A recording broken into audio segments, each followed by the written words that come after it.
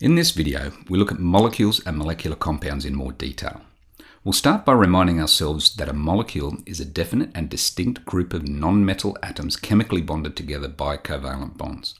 If we were able to use a microscopic pair of tweezers on the atomic scale, we would be able to pluck out a single definite and discrete water molecule from a glass of water. This is not the case for ionic compounds where no discrete molecules exist. The atoms in a molecule are chemically bonded in a specific way, resulting in a definite structure and definite shape. To represent molecules and molecular compounds, we often need to refer to several types of chemical formulas, including the molecular formula, the structural formula, and the empirical formula. We will use the formula C4H10 to demonstrate the differences and importance of each. As shown here, C4H10 is a molecular formula which gives the exact number of different atoms of an element in a molecule. And while this is very useful, it is also somewhat limited as it does not give us any indication on the structure or the order of attachment of atoms. And it gives us no information about the shape of the molecule, and both of these characteristics are very important in determining the overall chemical and physical properties of molecules. It turns out that the C4H10 molecular formula is the molecular formula for two different molecular compounds, butane and methylpropane. Different compounds with the same chemical formulas are said to be isomers of each other. While butane and methylpropane are isomers and have the same molecular formulas, they have quite different structures and have very different chemical and physical properties. To determine exactly which of the two isomers of C4H10 we might be dealing with in any particular circumstance, we use the structural formula to help out. The structural formula for butane has four carbon atoms attached in a chain, with the 10 peripheral hydrogen atoms attached to the carbons. The structural formula for methylpropane has three carbons attached in a chain, with the fourth carbon attached to the central carbon of the three carbon chain.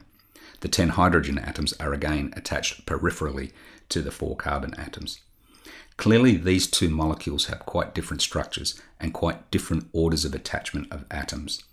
And that's exactly what structural formulas do. They provide more information with regard to the order of attachment of atoms. The downside to structural formulas is that they are more cumbersome to use and represent in, for example, chemical equations. So whether you use the molecular formula or the structural formula will depend on the situation you are using it for and what type of information you wish to convey. A third important type of chemical formula that's used to characterize molecular compounds is the empirical formula. And the empirical formula gives only the relative number of each type of atom in the compound, not necessarily the exact number.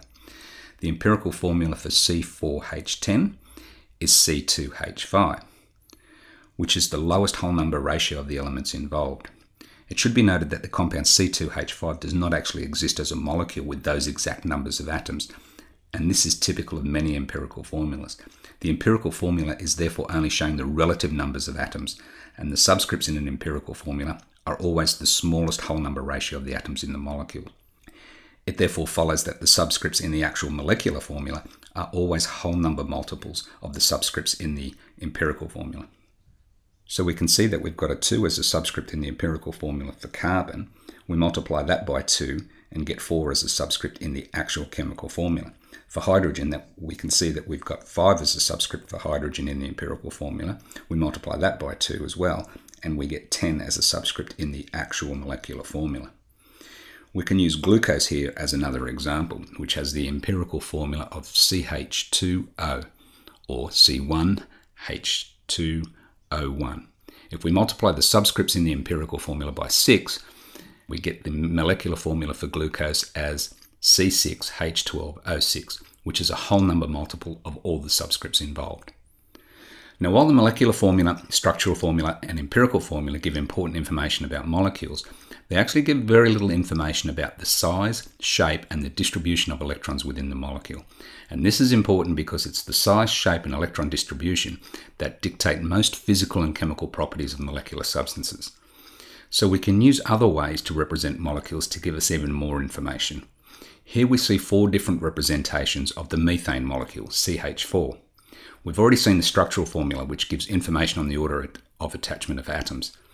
We've also got perspective drawings, we've got ball and stick models, and we've got space filling models. A perspective drawing has solid lines representing chemical bonds in the plane of the page. Solid wedges are used to represent bonds that extend out from the plane of the page, and dashed wedges are used to represent bonds that go behind the plane of the page. In ball and stick models, balls of different colours and sizes are used to represent different atoms, while the bonds between them are represented by cylindrical sticks. While useful for showing the order of attachment of atoms and the overall geometry or shape of the bonds involved, and even the angles between atoms, the ball and stick model does not describe the true shape of molecules. The covalent bond that binds atoms in a molecule are not actually stick-like, but are the result of the sharing of electrons from electron clouds of each atom involved in the bond. For this reason, space-filling models are best for estimating the overall shape of a molecule and are used to demonstrate the relative size and shape of the electron cloud of each atom involved in the molecule. They also show the extent of overlap of these electron clouds in the covalent bonds holding the molecule together.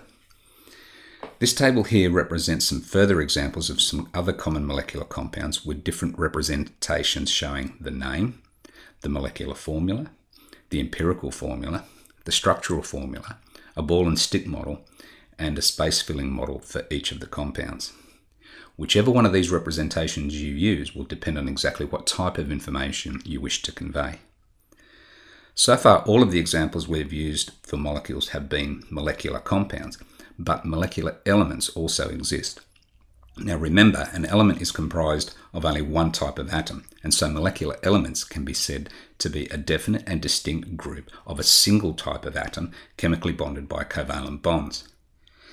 Examples we need to know about include molecular hydrogen, H2, the oxygen molecule, O2, and the nitrogen molecule, N2. These are probably the three most important molecular elements that we deal with. Others include the halogens, fluorine, F2, chlorine, Cl2, bromine, Br2, and iodine, I2. A couple of unusual ones include the phosphorus molecule, P4, and the sulfur molecule, S8.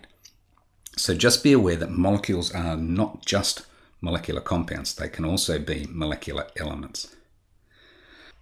A final way of describing molecules is to classify them as either binary molecules, diatomic molecules, or polyatomic molecules.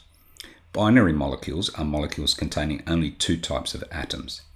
Diatomic molecules contain exactly two atoms, and polyatomic molecules contain three or more atoms. If we have a look at these representations of some common molecules, we would see that these four molecules would be examples of binary polyatomic compounds. Binary meaning two types of atoms within a molecule, and polyatomic meaning three or more atoms in total.